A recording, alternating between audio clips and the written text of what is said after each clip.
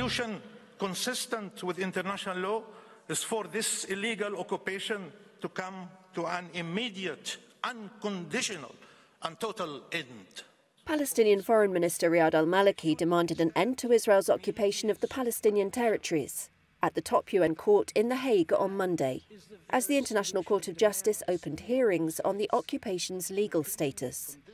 The case follows a 2022 request from the UN General Assembly for an advisory or non binding opinion. The genocide underway in Gaza is the result of decades of impunity and inaction.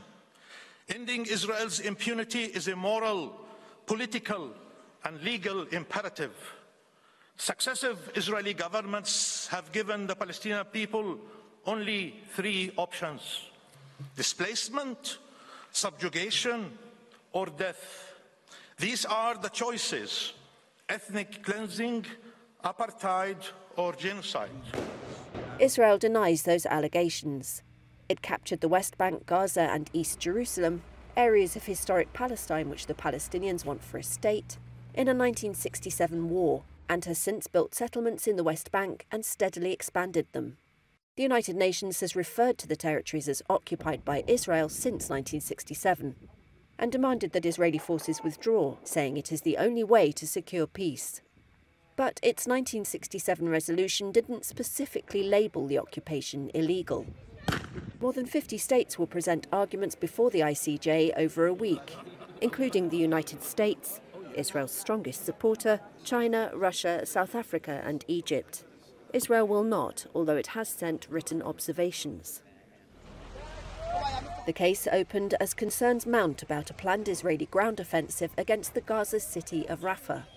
And less than a month after the World Court ordered Israel to do everything in its power to prevent acts of genocide in Gaza in a separate case.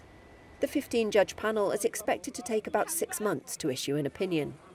Judges have been asked to review Israel's, quote, occupation, settlement, and annexation, including measures aimed at altering the demographic composition, character, and status of the holy city of Jerusalem.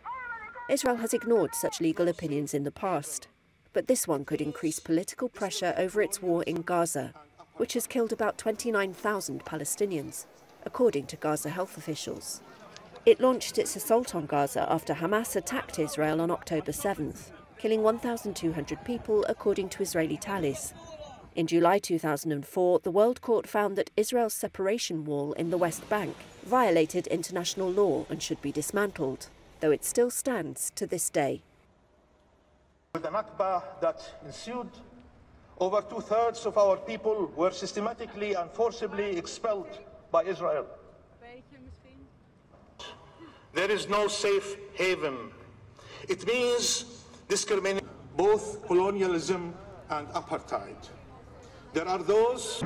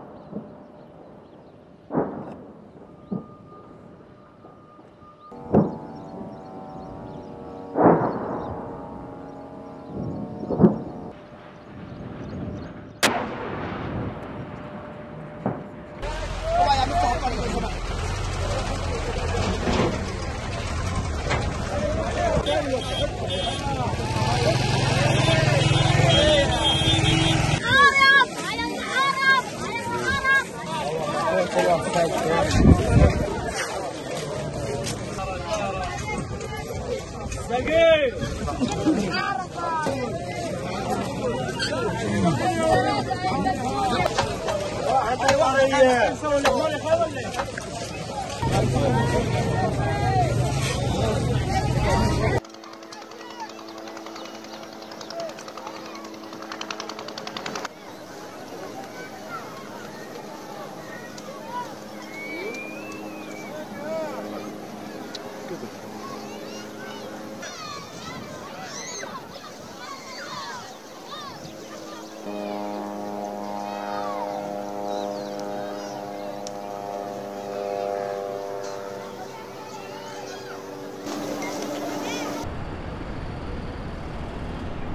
Uh, we've over one and a half million people crowded into a very small uh, corner of Gaza.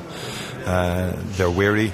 Um, they're, they're, exhausted from being, from moving from the north to the centre and on to the, to the south of Gaza. They have nowhere else to go. Um, there are thousands of children who have been without school for months. Uh, the trauma that they have gone through is extraordinary. How can anyone contemplate adding to that trauma? Um, and that is beyond me. It is simply an inhumane act and would be an inhumane act. Um, and um, that the hostages should be released and, we, and, and, and, Hamas should lay down its arms. What Hamas is doing is uh, absolutely unacceptable, uh, and we've condemned Hamas's activities from the beginning.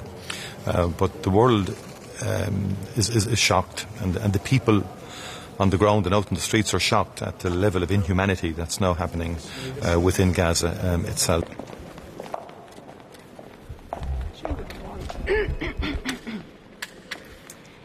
Uh, the most important thing would be that Hamas would lay down its uh, weapons. In a situation where this is uh, not the case yet, um, uh, I made very clear that uh, Israel has the right of self-defense but has to comply with international humanitarian law. And in a situation where over a million people uh, went down to the south of Gaza because the IDF uh, told them so, they cannot just disappear in the sky. And uh, therefore, it needs protection for those people. It needs humanitarian protection. The people have to go uh, home, should be allowed to go back home in the north. And for all of that, we need a humanitarian ceasefire, and this is what uh, we are heavily working on. Thank you very much.